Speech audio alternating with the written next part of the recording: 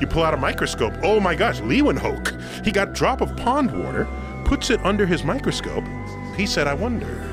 He was curious. He puts it under and sees little, what he described as animalcules, happily a swimming. Animalcules. Animalcules. These are like the amoebas and Paramecia. He reports on this to, you know, the scientific authorities, and they don't believe him.